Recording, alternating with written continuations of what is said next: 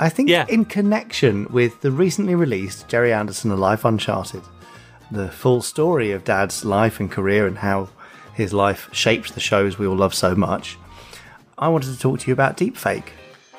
Oh, right. Okay. Now, as you well know, probably by now, uh, a large part of the interview with Dad in Gerry Anderson A Life Uncharted is original audio files that have been lip synced to by an actor called Rolly Hyde. And uh, deepfake AI has replaced Rolly's face with Dad's. yes.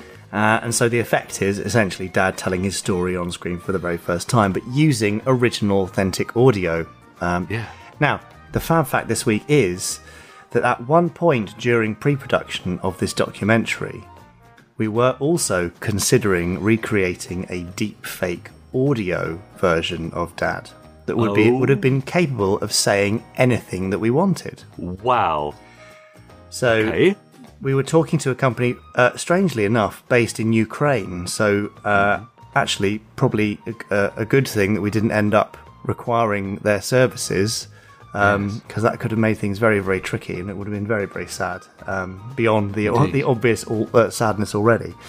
But uh, essentially, what was going to happen was we were going to feed in approximately two hours of audio of Dad talking across the years their AI system was going to learn Dad's voice, and then their system would be created by an actor performing with the right kind of pace and tone Yeah.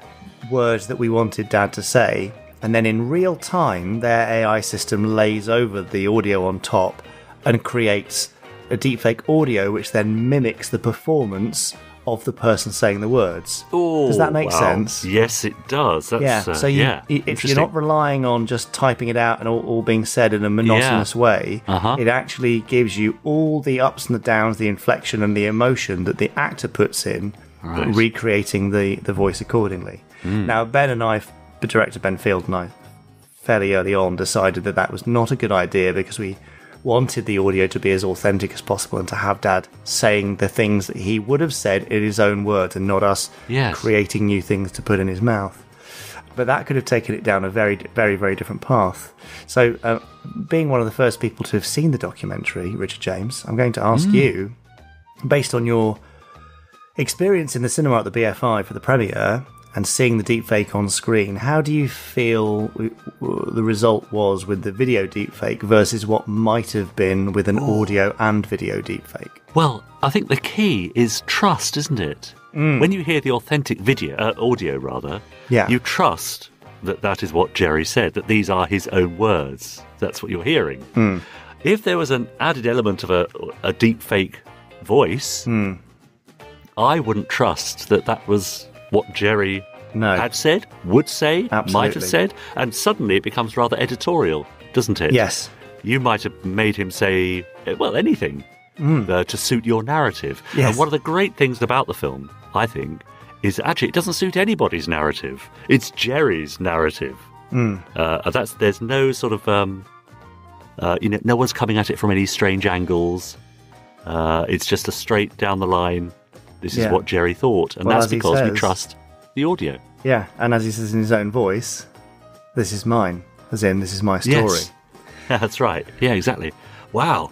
That, so, how far did you get? Did you actually sort of exchange files and maybe get a, a test sentence or two out of? Uh, No, we, we, we listened to a few of their versions they'd done. So they did Right. uh, they did a Barack Obama, Right. and they did a, a Mark Hamill, a young Oh, right. a young Luke Skywalker uh, Yeah. voice.